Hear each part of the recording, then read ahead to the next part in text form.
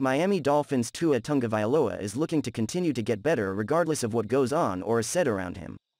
Given the way he's handled himself since he joined the Miami Dolphins in 2020, no one should have expected Tua Tagovailoa to have any kind of strong public reaction the NFL trading deadline coming and going without a quarterback being brought in to potentially replace him.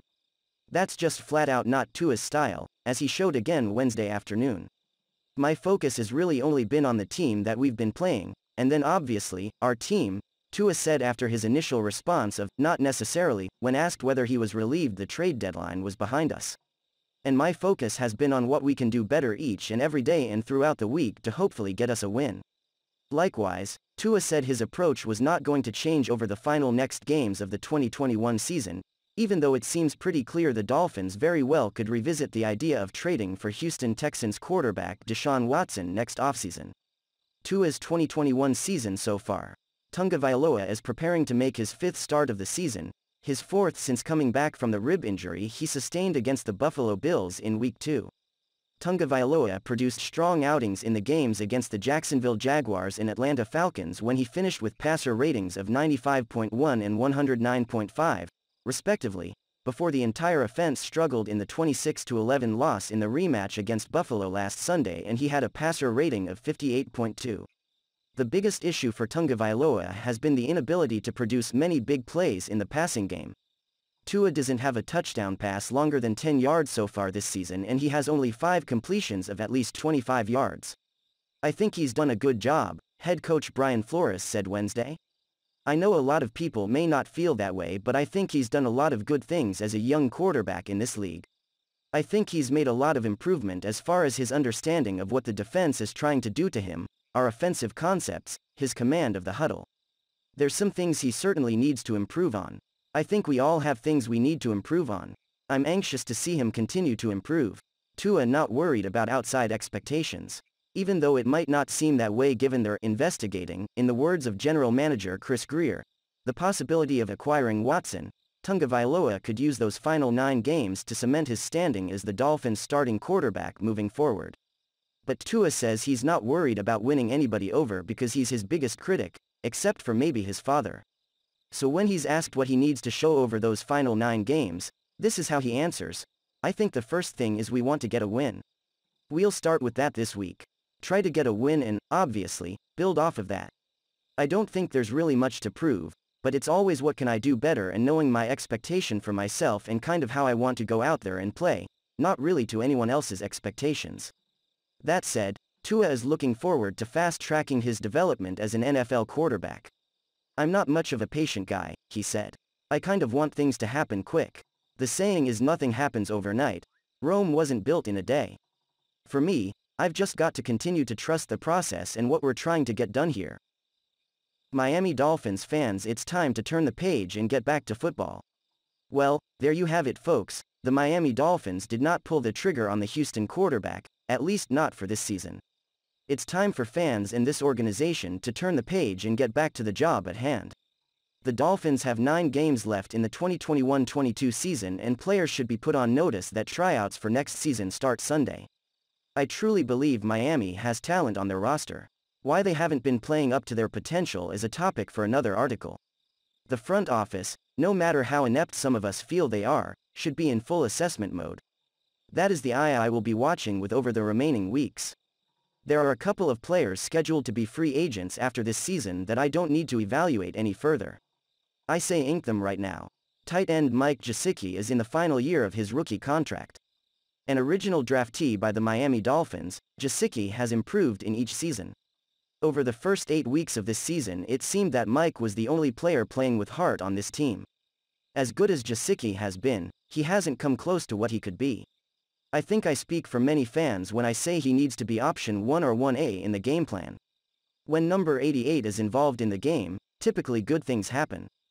Gesicki won't come cheap. Gesicki is currently the 44th paid tight end in the league, even behind his teammate Cethan Carter. My guess is he will be looking at top 5 money which is currently around $12.5 million. If I were the general manager that would be my second order of business right after I hung up the phone telling one of our many offensive coordinators to get this guy the ball. Defensive end Emmanuel Ogbah is the second player I'd re-sign right now. Ogbah doesn't put up the gaudy sack numbers that other defensive ends do but in Miami's defensive scheme he's been extremely solid.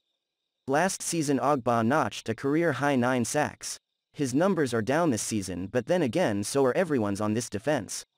Ogbah won't command top dollar as a free agent but my guess is he will be looking for more than the $7.5 million he's making this season.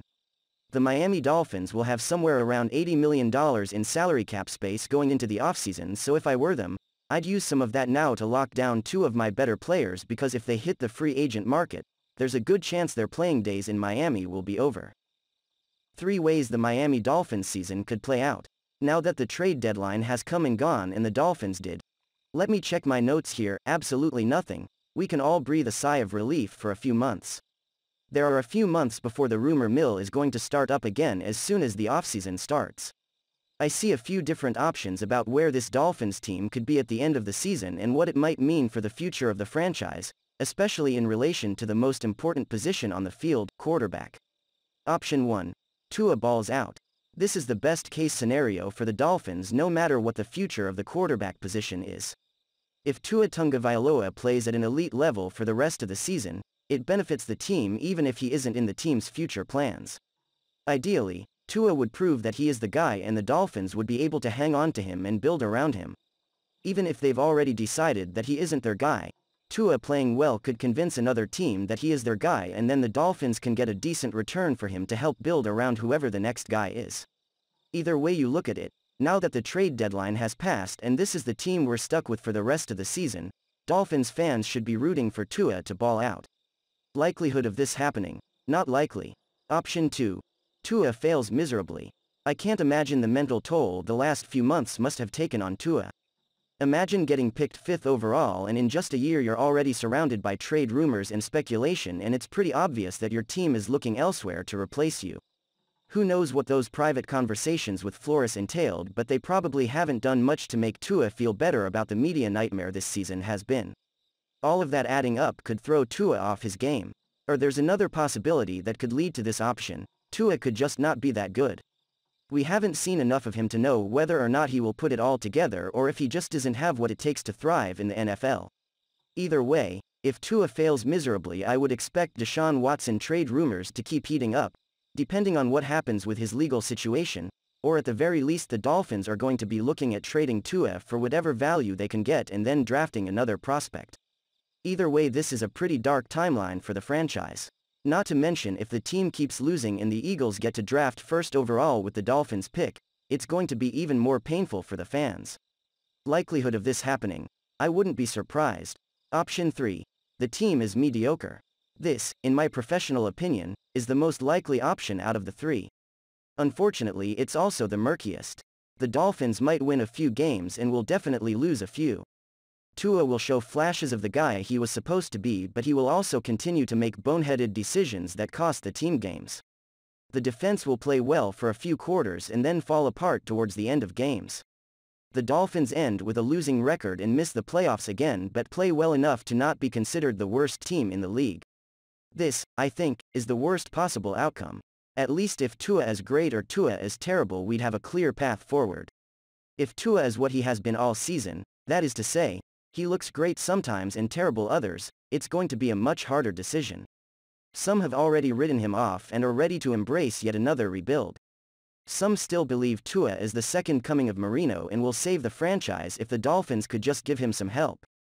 This argument will only get further divided if Tua is just fine through the rest of the season. Likelihood of this happening? I would be surprised if this wasn't exactly how the rest of the season goes. Regardless of which outcome prevails, Dolphins fans are once again already looking towards the offseason halfway through the current season. If this franchise is going to turn it around something needs to change. The question is whether that change is a new quarterback or a new front office.